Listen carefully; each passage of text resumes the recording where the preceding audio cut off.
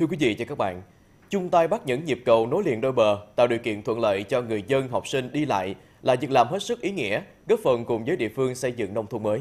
À, không những thế mà nhiều căn nhà tình nghĩa, nhiều hoàn cảnh khó khăn cũng được Đại Đức Thích Mật Tịnh, trưởng ban từ thiện xã hội Giáo hội Phật giáo Việt Nam tỉnh Vĩnh Long, trụ trì chùa Phước Nguyên, xã Lục Sĩ Thành, huyện Trà Ôn tìm cách vận động quyên góp để hỗ trợ giúp đỡ họ vươn lên trong cuộc sống.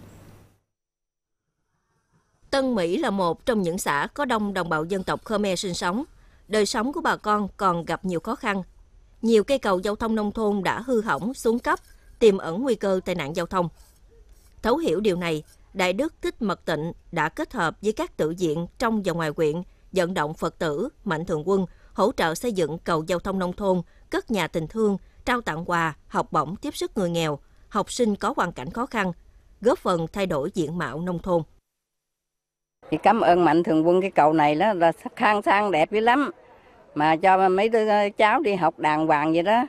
Cũng được lắm, mấy tụi tôi đi xuống đi lên thì cũng khỏe dữ lắm. Cũng cảm ơn mạnh thường quân mà được 100 phần quà nữa. Bà con ở đây cảm thấy vui mừng dữ lắm. À, trước kia thì ấp Cần Thai cái cầu này là lúc trước là siêu dẻo yếu lắm. đá nhỏ nữa người dân đi lại rất là khó khăn. Nhờ sự hỗ trợ của mạnh thường quân ờ, trên thành phố của quận 8 thành phố Hồ Chí Minh hỗ trợ được cây cầu là thường quan này và người dân đây rất phấn khởi. Cái thuận tiện là thứ nhất là giao giao thông ờ, đi lại thuận tiện nè. Cứ vận chuyển hàng hóa nó đi lại nó dễ dàng hơn. Từ năm 2017 đến nay Đại Đức Thích Mật Tịnh đã vận động Phật tử Mạnh Thường Quân đóng góp trên 25 tỷ đồng để xây dựng 14 cầu giao thông nông thôn, hàng chục mái ấm Phước Nguyên, hàng ngàn suất quà, hàng trăm xe đạp, học bổng tiếp sức đến trường cho học sinh nghèo. Khi thực hiện tất cả các chương trình thì à, chúng tôi cùng với các vị đã đồng hành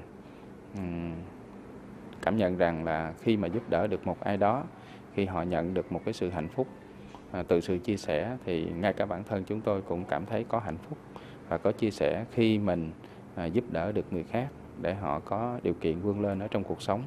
Trong thời gian tới, đối với huyện Chợ Ôn à, tiếp tục là cái à, à, nhân rộng cái à, mô hình điển hình của Đại Đức Tức Mật Định nhằm là kêu gọi à, các cái tổ chức mạnh thường quân và các cá nhân à, để có sự đóng góp, chia sẻ, à, đóng góp những cái à, vật chất thì rồi các cái phần hỗ trợ phần quà à, nhằm giúp cho cái à, các cái đối tượng mà đặc biệt là hộ nghèo hộ cận nghèo trên địa bàn huyện đảm bảo có cuộc sống ổn định.